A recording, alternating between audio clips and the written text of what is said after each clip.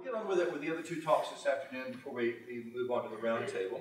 So as uh, Rene had introduced himself before, he, he's part of the, the, the global uh, marketing arm looking at vertical industry solutions. Uh, I'm sorry, looking at vertical industries in general.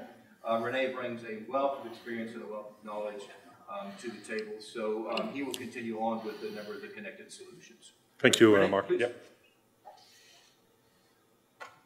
So first of all, uh, I want to uh, thank you, and I'm, I'm very happy that you saved all your questions this morning for this session. So we can have some inter- interaction and uh, questions. I think eventually my slides will show up, or do I have to do something? Clicker? No, no, not the clicker.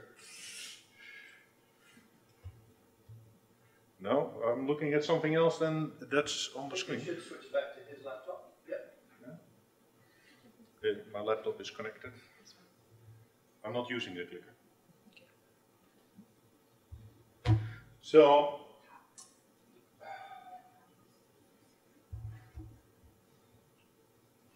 while we wait until the, this technical challenge is uh, being addressed, I have a slide deck here where I'm going to present only about 20 slides of because we only have 45 uh, minutes and some interaction. You will get the slide deck afterwards to go through it uh, at your own leisure because there is um, a lot of information in there which is um, which we will not present once again due to the lack of time.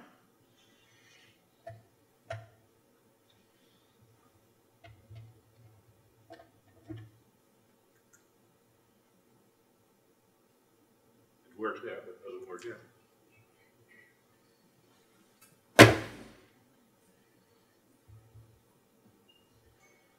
Now, what I will not present, what I will not present, are slides of the business rationale behind it, because we uh, came up with um, why are we doing products and solutions alone or with partners and architecture. You don't do that without, of course, having a business rationale. Uh, we focused on a couple of things. Either it enhances the revenue, so you make more money, you reduces the cost of running your operations, so you improve your margins, or you avoid costs, for instance, in oil and gas, you are aligned and compliant to law and regulations, and you have a minimum amount of unplanned downtime and spillage and stuff like that. So those are basically the three main drivers we look at, more revenues, less cost, and cost avoidance. And there's also a fourth element we sometimes include in it, and that's, you could say that's retainment of revenues, and that's loyalty of the customers, customer satisfaction. They want to come back to doing business with you. Now, I don't, okay, there we go. We're in business. Um, so once again, this is a slide deck uh, I'll make available to you which uh, we talk about a little bit about the macroeconomic developments, and uh, Sergi also uh, pointed out on a couple of things like the oil price, uh, the current oil price, is it an inhibitor, or do we see acceleration of innovation and stuff like that? But we will uh, dive straight to a couple of examples and user cases and what we call CVBOs. That's customer validated business outcome. And that goes back to does it enhance your revenues? Does it lower your operational costs? Does it avoid cost? Stuff like that. So I will click on this button here and hopefully that will bring us to this section which uh, details first, I mean Cisco is a large company but we cannot do it alone. We need uh, partners to go to market Schneider Electric, like Amazon, a couple of other partners we have. We have customers, and sometimes we do innovative things together with customers. But we're also very active in uh, several standards and protocol bodies. Um, for instance, uh, Society of Petroleum Engineers, but ISA as well, to have a lot of those standards, like the ISA 99, also known as the IEC, IEC 62443, which is about industrial security we have people on those boards helping to shape the standards and of course make sure that we can support or align with those standards. ODVA is, for instance, another nice example, Open Device uh, Vendor Association, because we at Cisco, of course, like to believe, tend to believe that everything is TCP IP over standard Ethernet. Well, when I started working in the industrial network a few years ago, I now have identified 21 different protocols running from serial to wires to exotic protocols. So it's not only Ethernet and TCP IP above that, but we see a convergence going on there as well. That say, say that we have 21, 20 plus standards uh, in network in the industrial area by now. I think within five years that will be reduced to five, five to 10, something like that.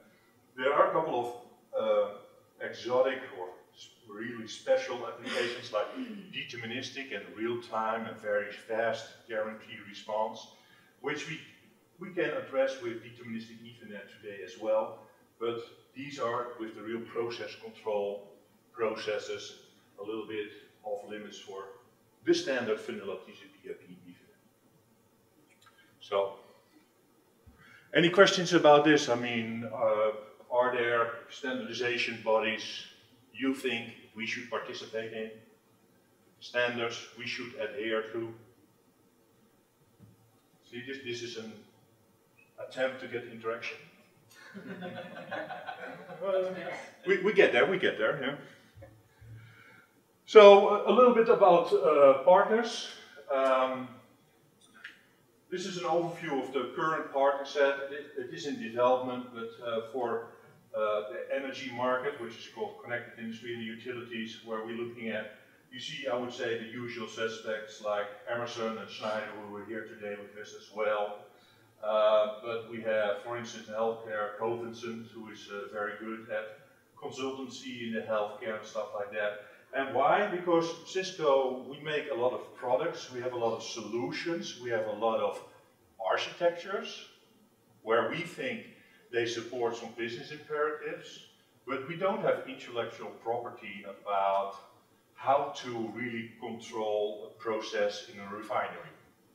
That's, that's not our core business. We are in the business of connectivity, do it securely, manageable, reliable, but don't let us manage a process in the, the distillery, refinery, or other stuff because that's not our intellectual property. So we, we, we uh, partner with partners who do know a lot about that. And most of the times, if not always, there's a, there's a good complement like we take care of the connectivity part and you partner do what you are good in your intellectual property. A, a standard example I use, which is not listed here, is SAP. SAP, when we started working together with SAP, SAP did a lot of network modules on the below SAP themselves as well. And they realized quickly, of course, look, we're not in the business of network transport. Cisco, you do that for us. So we can focus on our core business, the ERP, what makes us great, SAP. So we see that here more and more as well. So uh, relationships with being explored, you see a lot of uh, HET is, for instance, an interesting company also for oil and gas because um, they have solutions to control and monitor 24-7 dikes. Now, I'm from the Netherlands, eh? country 99% under the sea level. So we take that uh, close to our heart, but also in the oil business, you have these extraction ponds which need to be monitored as well. Good, they are also uh, in connected uh, cities and so, but they have a couple of solutions which are very applicable for oil and gas as well. Any obvious parties we're missing here? Are you working with these people? Are these the usual suspects in your country as well? Yeah? Ah, interaction. Yeah. Good. Inmarsat is not part of Sorry? Inmarsat. Inmarsat. Uh, yeah, that, well, that's uh, for the satellite com uh, communication. Are, we have partnership with them, but it's not listed here. And for the oil and gas, it's an important one, especially the offshore, of course, but we're also looking at other uh, satellite companies and providers, but not that many. But for instance, we also look at O3b, which has not a geostationary, but a half uh, height of their satellites, which means they are not geostationary, so you have to track them. But the, the big advantage is that you have lower latency and more bandwidth. So, um, but indeed, Inmarsat is uh, another partner. We are there specifically for uh, what do you do if you're in the middle of nowhere and you have no connectivity, you use satellites. Now, if you um, look where we play, we, we talk about uh, integrated operations, then it will not be a surprise to you that we very strong on the bottom layers where you talk about routers, switches, firewalls, IDS, IPS, you name it, to have the basic connectivity, manageability and security on that. And the more you come, the more you go to the business processes itself. We, of course, are not relevant at the highest level. That's what have to do with values and norms of a company fed by local laws and regulations and uh, the objectives of the company. But we can, for instance, uh, provide solutions here like uh, WebEx and telepresence to have virtual meetings to facilitate that.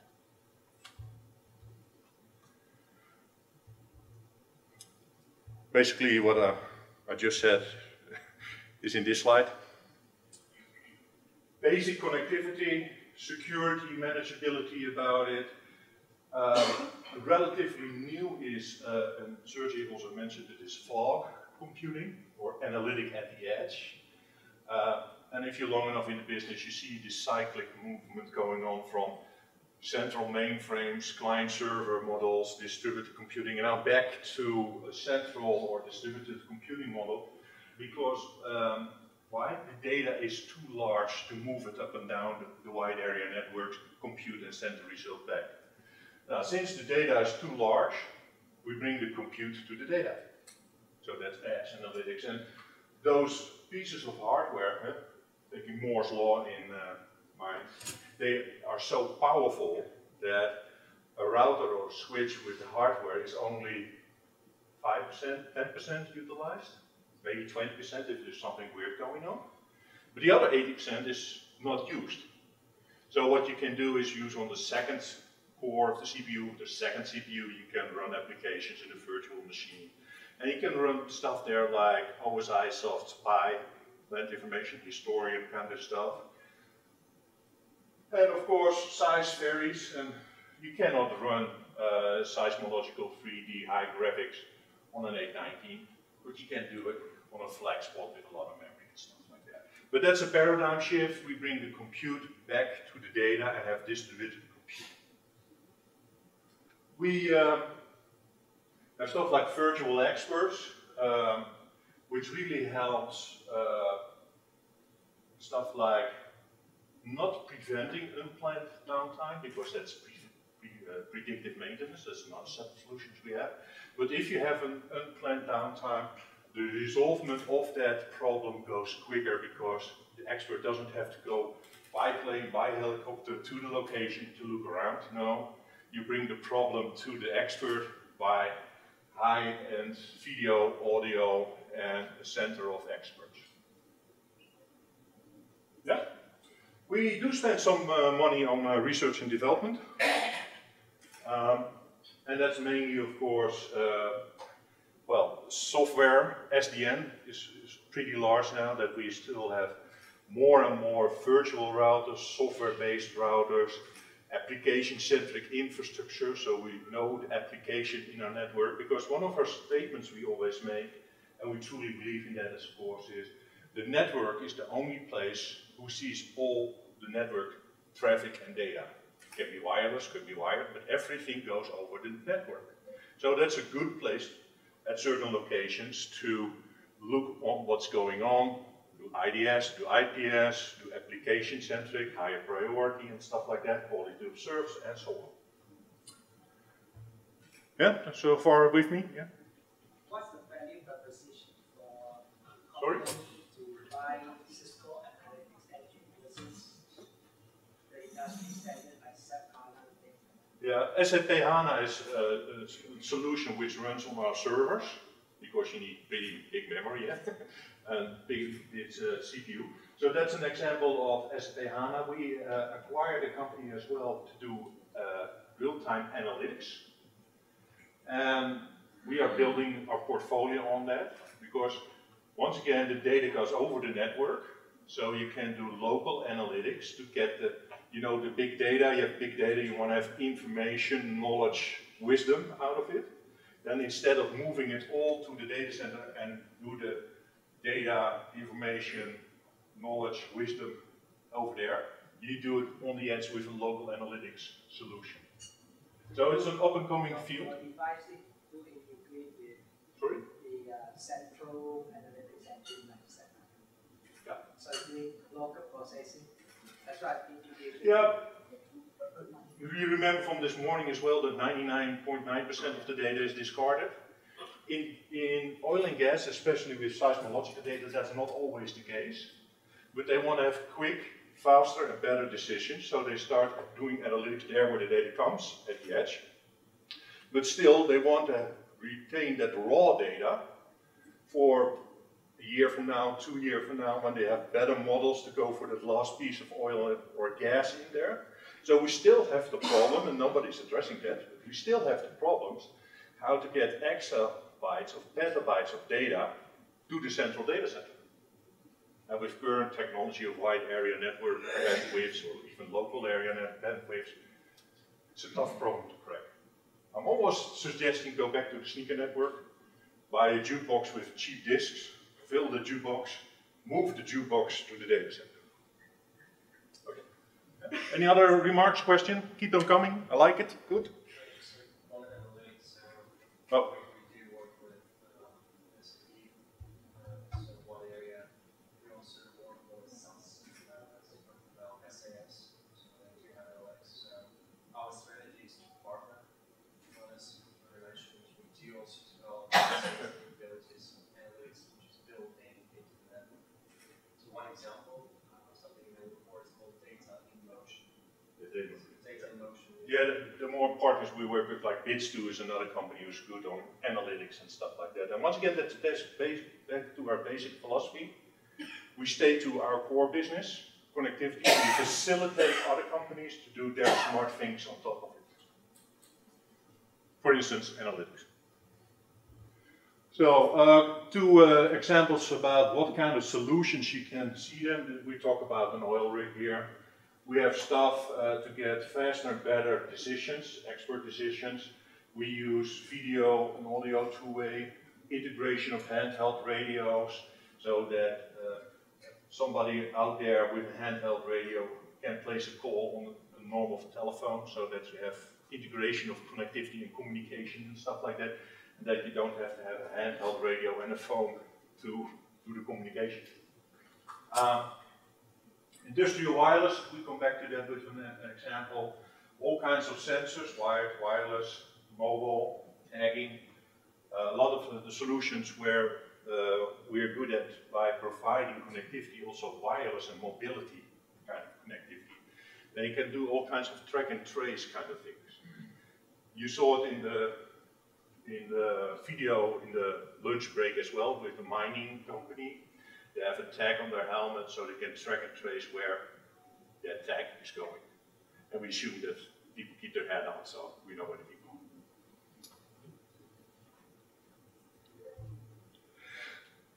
For the refinery, we have uh, some other solutions, and similar solutions as well. I won't go into it uh, too much detail because once again I will give you the slides and a lot of background information there as well. And uh, Emerson, uh, the next speaker, will also talk about uh, wireless sensor integration, convergence of uh, network there. Maybe And don't wanna- bit about how, how can we, because on, on the conventional now refineries that has been around, Yeah. there's always a challenge to bring wireless to the refinery Yeah. because of doing the infrastructure itself is huge. And then you know that metal doesn't work well with wireless.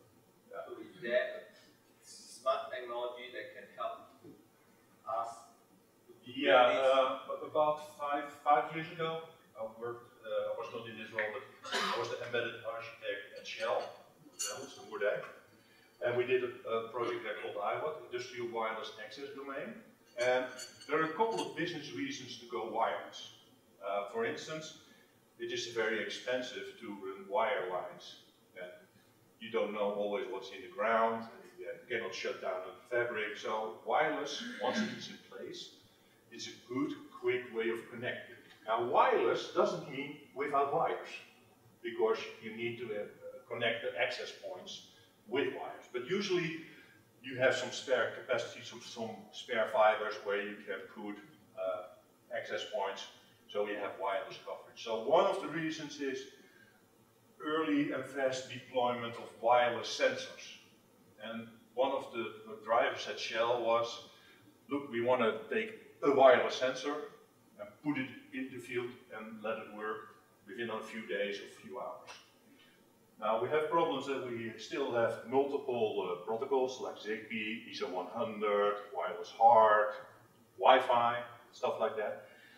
And there is a convergence going on, it's called uh, the EFRO project, where a lot of vendors are coming together to see if they can converge to one standard.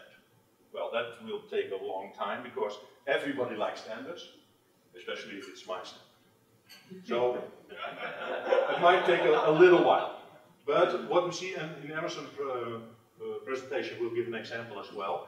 We're now capable of using wireless HART and ISA 100 and Wi-Fi over one network infrastructure. So we can carry the signals over one network. And that saves a lot of boxes and speeds up the deployment as well. Ideally, it would be nice if we have one standard RF protocol which will serve all, but that might take a while. So rapid deployment is one. Another benefit we found out, or from, is that with wired, you don't have mobility. An extension cord running around. But if you're wireless, you can facilitate track and trace, what we already saw. You can facilitate handheld laptops or ruggedized laptops to do uh, whatever it is you want to do. Instead of writing it down on a piece of paper, go to the office and type it into the spreadsheet, you can read it uh, right away. So track and trace, healthy, and we identified something like 75 business applications who would benefit from being wireless and mobile. Now, mobility of wireless is not a silver bullet because it doesn't solve uh, other problems. One of the problems is that, for instance, uh, if there are radar signals in the area, military airplanes or other radar, by law, everybody, other, other vendors as well, have to shut down their Wi-Fi, or at least that channel. They have to hop to another channel and stuff like that. So that's just by law and regulation that wireless is sometimes difficult to deploy in very time-critical deterministic processes. I would not recommend doing that today. Use wire for that, stuff like that. But the business case of wireless, and we'll show you some more examples going on, are pretty uh, large number of business So we talk about use cases, users reference, customer references, but more important is the CVBOs, customer validated business outcomes. The slides I didn't show you were all about increase of revenue, decrease of cost, avoidance of cost, retention, loyalty kind of stuff. So a couple of these outcomes we let the customer validate it with a quote and basically it is, okay, show the money. How much was in there for you for that solution? And we have, a, I've selected uh, two or three. Um, one is uh, Dutch Shell, and Shell is in the room here as well. Uh, it's about uh, secure ops. You know that in an industrial area, like a refinery, but also an offshore oil rig or an exploration field, there is an infrastructure which need to maintain in the sense of version control, antivirus, patch distribution, you name it. All kinds of household things to make sure that it is up to standards, that location. And we talk about secure ops that the process control domain is the area we want to remote manage secure operations. But it could be anything which is remote. Also, for instance, in banking, it could be a remote uh, branch which you manage because there's the same problem. I have to make sure that all the levels of the operating system are up to a certain level, that all these and these, these patches are applied, these antiviruses are done, these audit files or log files are monitored for auditing and being compliant and so on. So uh, at Shell and other customers, historically hysterically, it grew and grew, and there were proprietary solution of all the vendors of the solutions, like Honeywell, Emerson, Yokogawa, Invensys, ABB, you name it. They put down their solution and their own stovepipe solution for management and access to that. So that became a very hybrid, hard to manage, very expensive to operate solution. And Shell and Cisco worked on that to get a secure plant, which is now made generic and called Secure Ops. So, a little bit more detail on this. You have seen this slide in the, the previous presentation of uh, Schneider Electric as well. There's quite a few things you have to do to be in control of your remote process control domain, like asset inventory management. The slides will come be uh, available. Be nice. um, even, for instance, Cisco is a large company. We have a lot of offices, a lot of data centers, a lot of R&D stuff. We have to secure them as well, and we do a very good job at that. But one of the first steps, of course, is that you have to know what's out there in your network before you can start managing and protecting it. So one of the first, sometimes colossal step, is to make an asset inventory. What is out there? And of course, uh, everything is TCP IP Ethernet, right? So if you do a ping sweep, we find everything, right? Uh, not really. There's many PLCs and DSS systems which do not react to ping sweeps, because they don't have ICMP enabled or not even TCP IP Ethernet based. So we have to find, and we work together with partners there as well, to make a complete inventory. Then, then, you start organizing, planning, that's the before phase, you start implementing it, and then run and operate kind of thing. I can talk for days about this. Unfortunately, I'm not allowed to, so we'll, uh, but if you have questions about it, please reach out to me or to Sergi, and we can talk more about it. You see that the complexity is that each and every step is not, well, some are not simple, but they are not too difficult in general, but there are so many thousands of steps you have to take that it's overwhelming. Now, by automating that and simplifying that, you go from a situation where you have this, that every plant, a manual process is there, where you see if you're compliant, which patch is uh, installed, what virus, and so on. A manual process, a lot of spreadsheets, cumbersome, boring, error prone, stuff like that.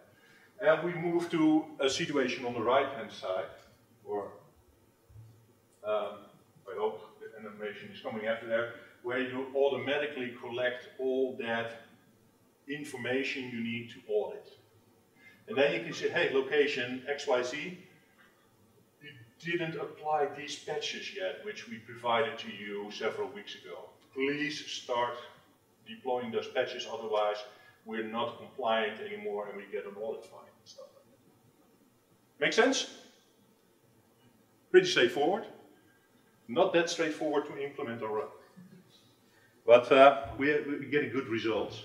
It's very, I mean, just, uh, it's very powerful. So at the executive level, it actually provides a dashboard, and you can see on that dashboard all of your facilities in the region, and you can see which facilities are compliant, which are and wh- which level of compliance. I think more interesting, you're going to see the trend over time, and you can see this refinery, the compliance is going down, and this facility they're trying to catch up with patches. And then pretty much executive level, you can make a decision either out of the stuff, we need to probably put more resources there, or what's happening, what's the reason? And we know that some of the customers actually getting that visibility to one general manager of one refinery or one region, so they can see what his peers are doing and create a bit of a competition between them and to say, uh, one is doing well, others are not doing well. Yeah. This is the first time ever we're giving a real-time visibility. You can know your compliance today. It wasn't compliance on the last audit or the last checks, it was compliance on today. Yeah, so, so by automating it and making it visible and that you can share it, you get a lot of strong leverage over your whole company. Um, yeah, it won't say that disasters won't happen because that's another thing, but you're in control and not unexpected downtime will occur that much anymore. Now, this is another solution uh, from a customer validated business outcome. We talked a little bit about it as well.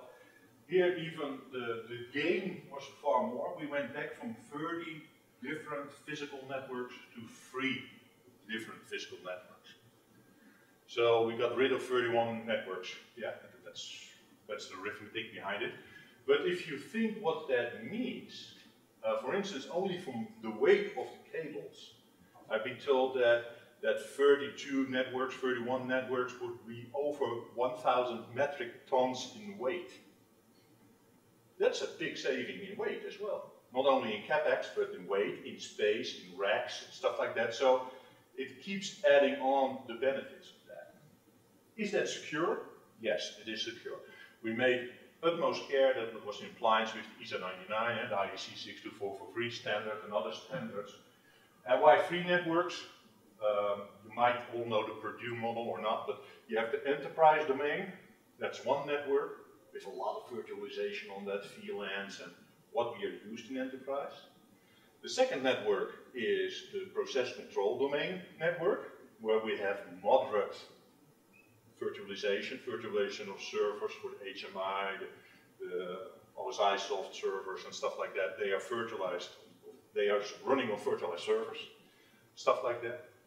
Uh, we have strong network segregation in that as well. And we, the third network is the SIS network with no virtualization.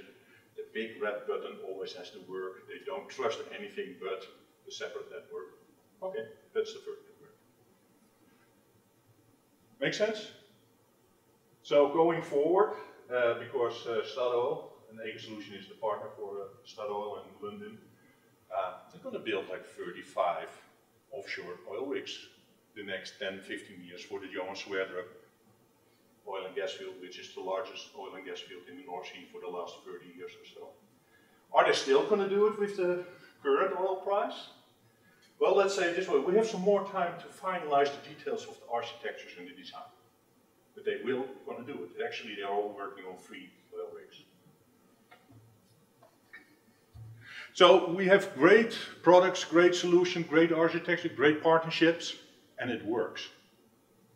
Uh, because sometimes it was difficult, we do great projects, but we forget to document them, and then customers talk to us, and where did you do it before? Then we, yeah, well, bring in the other customers, stuff like that, but now we can document and talk about it as well, since the customer validated business outcomes uh, are very important. I look at the timekeeper, how much time do I still have? 30 minutes? 30? Um, Marathon Oil is the standard example for customer validated business outcome. And this is all to do with the, the wireless coverage. They had a business imperative that uh, at their uh, Robinson plant, uh, a couple of people died because they came into poisonous areas with sulfide gases and other stuff. We made a solution together with uh, partners, uh, Aeroscout partner. They made the RFID tags to do actual track and trace where the people are. Scientific industries, they made portable gas detectors, so you can see uh, the levels of uh, sulfide gas or how much the concentration was before it got combustion and stuff like that.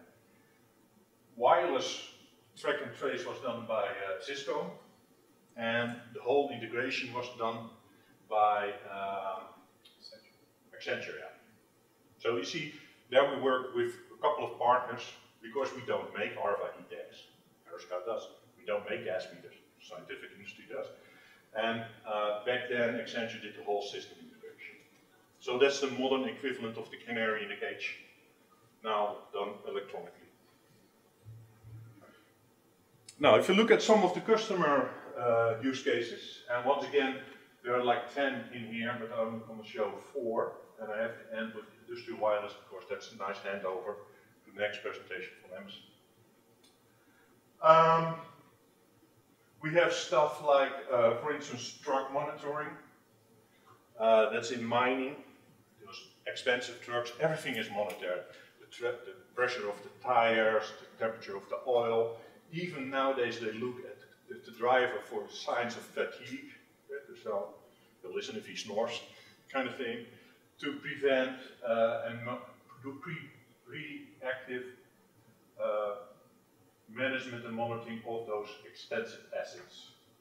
Not going to go into connected pipeline operation because that was the example from this morning from Schneider Electric where you can do with SCADA and security and, and stuff like that. So I'm going to click on number nine to go to uh, secure ops. Well, that's a little bit uh, double up because we already had a customer value. But you see once again what it was about, what the solution was, what the outcomes, and what the technology enablers was. Um, should also not forget that all the, the products and the tools and the solutions and the architectures we have and can position, if you don't use them correctly, you still make a mess of it. Yeah? Give a fool a tool, and it's still a fool, is the English saying. So education, training, monitoring, retraining, recertification, all those human and processes aspects, we can help customers with that, but it's up to the customer itself to implement correctly. Yeah. Okay. So that's one of the tools, and if we go back then, decided to go for number three, which is an example of remote site management. Uh, you have many different remote locations. Think of mobile drilling rigs, offshore oil rigs, those kind of things, those move around. And they need connectivity. And what we can do with remote site management, it's kind of depicted here, make sure that at the remote site we do a small footprint installation where one of them is dedicated for the office environment and one is dedicated for the process domain. So we have separation, which is what security auditors like to see. Where's the red cable, where's the blue cable? Well, we have a blue flight case and white flight case.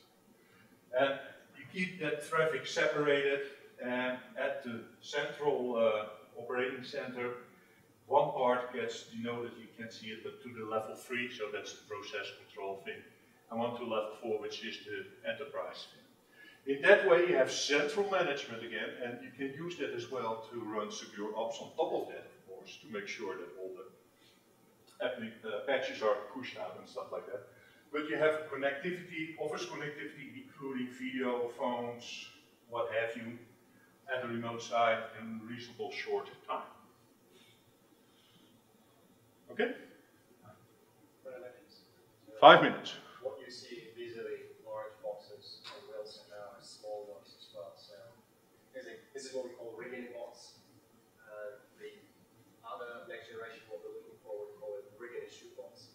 So all of this is actually becoming much smaller. Again, Yeah. applying innovation and virtualization to make it very small, and you can achieve what it was with a small. But the, the drivers are rapid deployment and being agile.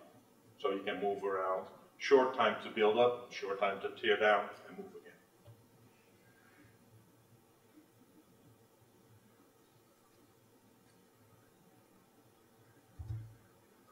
So, um, now life down uh, safety uh, HSE is the Marathon Oil. Here, here you see a little bit more detail, the RFID tags we use to track and trace, the portable gas meter for different kind of uh, poisonous gases and concentrations. And the wireless of uh, the access points which make core for the wireless canopy coverage area so they can just run around. Uh, it's not only for uh, man down in, in, the true sense of man down that the person doesn't move anymore because you can detect that, but if the person doesn't move anymore, you're in trouble already, of course, because he doesn't move anymore. But also, if there is fire or something, you have to evacuate the whole location. You can use that to send all the people to the muster place, but you can also see who's not going there, walking in a different direction, for instance. So you can quite easily have an overview which people are in which area and make sure that they leave that area if they have to. Any questions about this? Does this seem like a solution you want to have as well at your locations? Do you already have it? Don't you need it? Don't you want it? What, any ideas? You, sir, do you have any ideas about this? Well, we are in the process of uh, setting up the uh, wireless network to enable this. For the coverage and the connectivity so you can move around. Also for man down or also asset tracking or Uh, couple of like couple of things? man down asset, asset and uh, personal tracking. Yeah. Yeah, yeah, I mean, smart to use for multiple things, eh? if you have the connectivity and the mobility. It takes time to build up the infrastructure, right? And what, uh, you know, here, Dr. mentioned, the infrastructure setting, uh, the the cost to set up the infrastructure at the moment is still quite high. So in technical refinery, we are looking at somewhere in between three to four million dollars. I, I'm wondering about it, and I'm I'm looking to you uh, here on the front row. Uh, vessels. Would this work on vessels as well? I could see this for a safety measurement for man overboard kind of thing. Is- Or is that too much wishful thinking? What do Well, you think? new vessel, we will introduce uh, technology, right? Uh, For the old one, probably takes time to, to retrofit and then make this happen. Yeah, from a technology point of view, I don't see why it shouldn't work. My technology insight is not always the same as the rest of the world. or business dictates differently, of course. So, um, industry wireless, well, we already talked about it quite a bit. Um, we had to learn a lot of things there. Like 10 years ago, we moved into the industrial, or 15 years ago, stuff like that. Wireless, of course, is something of the last few years getting really popular. We have all the experience with wireless networks in universities, and offices, and governmental buildings, and stuff like that. But doing a wireless site survey in an, in an environment like this with a lot of steel, reflections, corridors is something quite different. Not only do you have to be more precise and higher resolution with your site survey, but I remember that I was going to Moerdijk, a location of Shell, to do a wireless site survey. And it took me seven tries to get into the uh, area. Because I had to be on a security list, being announced that I come. I had to be accompanied by somebody from security to run around in that area. The equipment we used to do the actual site survey measuring had to be ATEX or IECEx certified. We didn't know that. So we learned, and now we know. But that's, that's what makes uh, my job so fun. Uh, I learn new things every day from, well, I had one minute, eh, so another story is uh, still good at that. Uh, very pragmatic things. Enterprise networks, equipment and products are totally different than industrial network products. They have to be more sturdy. They have to be ruggedized. And they have to be certified for ATEX proof or ICX. And we have those switches which you put on a DIN rail, taken into production, and we certify them. And what did we do? We put the, the sticker, the label, that it's certified on the back of the switch and click in production. Problem solved. Security audit. The auditor said, where is the sticker, the label, that is ATEX certified? Yeah, it's on the back of the switch. I don't see it. No, it is on the back of the switch. Well, can you remove the switch and show me? No, it's a production system, I cannot touch it. Well, you failed the audit. Plastic labels for audit, for labels, uh, for models, in an environment like this, they last, what, three months, six months, and then they are unreadable. So we had to go to the metal embroised labels on the outside, in the front, where you can read them. tiny things, but it's a showstopper for your project. Oh, okay. Um, that's it for me, I think, because now I'm. Uh, guys looking into, the, what, the TV white space technology? sorry, white space technology. Yeah. The TV white space technology. Uh, I don't know what it would They imply. freed up the TV, uh, Oh, yeah, yeah, yeah. Yeah, oh, the, the frequency band. Yeah, yeah, yeah, we have a lot of fun with that as well. Um, we traditional for Wi-Fi, the 802, uh, series of protocols, we use 2.4 gigahertz and 5 gigahertz. In America, we also use 900 megahertz.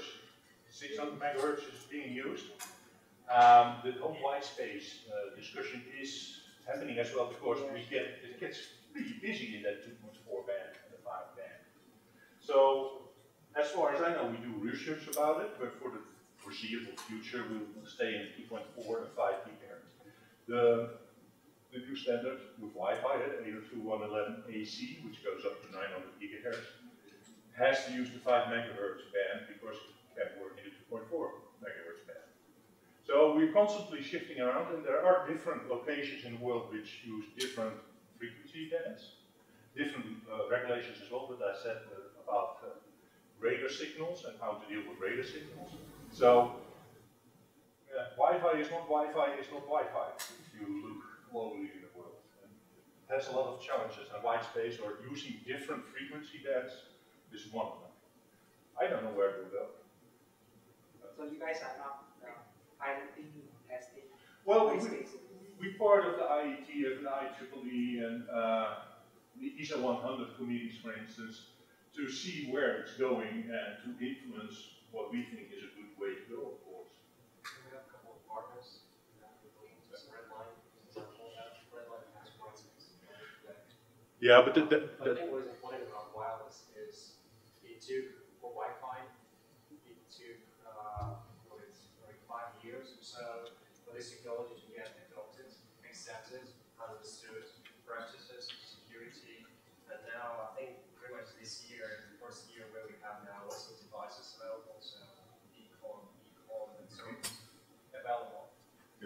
finally, technology and applications is well. So finally, we reached the point where we're ready. If you bring any other wireless technology, you think like, okay, what are the devices? Where are they planted? Where they will be available? Now security, when security will be installed. So that's why I think we feel that Wi-Fi is now in the golden age. So it's actually getting things done. Uh, But we are looking into LTE, we're looking into white spaces, we're looking into some other possibilities with uh, Wi-Fi enrollment is the technology ready for all languages and also Emerson as well. Yeah. System as as well. So it comes together. And of course, you, you have different kinds of RF technology. Like I said, you have Bluetooth, you have Wi-Fi, ISA 100, wireless HART, WiMAX, microwave, satellite links. I think, uh, in the manufacturing area, we do see a lot of value with drones because TV white space coverage is eight to nine kilometers, right? So, yeah. Uh, I don't know whether Imagine Mark, the Equipment that you can reduce with that kind of big coverage. If, if it's uh, going into that white space band, no doubt that would gonna support products with using that frequency band. But to be honest, I don't know where it's going. Yeah, Singapore government is also testing that big time. Last question. So, so in all these uh, example that you gave, uh, are those systems managed by distinct domains like enterprise IT or operational IT or you have a mix? Because you know, in in in uh, some of the uh, environments, they are distinct. You know, in our world, it is all converged, integrated, end-to-end, of course. So, I mean, we have that problem. Who's going to manage it? Is it OT? Is it IT? And it depends. I, I have smaller customers who don't have the money to run both an IT and an OT department, so the problem solved. That group of people do both. Uh, the larger companies, you do see convergence, but uh, we have said it before. OT doesn't trust IT, and IT doesn't trust OT, and they don't understand each other. And one of the most difficult parts of my job was to learn to talk to talk for OT, talk to talk, well, I knew to talk for IT, but do word translation. Uh, very simple thing. In in enterprise, we talk CIA. Confidentiality is very important. Integrity is important. Availability as well. But let's face it, availability is usually the printer in the hall doesn't work. So in the OT, it's availability X equal with integrity because it needs to be all the time up, it needs to be available. And if I send close that valve, it should arrive there as close the valve. Otherwise you get stuck in it stuff. But confidentiality is last least of the concerns. So what is important? How does it work? And like I said, in OT, it's not, I mean, we have 20 plus different protocols. It's not only TCP, IP, Ethernet, where Cisco sometimes think that's the world. So where do you manage it? Where the capability is to manage it. And sometimes you can do it as a service. For instance, that secure ops, uh, you can do it yourself, you can do it on premises, off premises. And I do see more and more in the cloud kind of services for process control domains, SCADA applications as well. Well, is that trustworthy? Yeah, I think it's trustworthy for doing once a minute a temperature reading, but not for 20 milliseconds real time loops like that. I think it depends on the use case. And we started wells deployments. The use case is about productivity, is about tracking. We usually see for industrial wells because IT knows how to design uh, the whole wireless network to support all those operation applications, mobility applications, and all that. It gets complicated when the sensors come. There, there is money around the world. This is where the, you have to talk to your OT. and agree with them.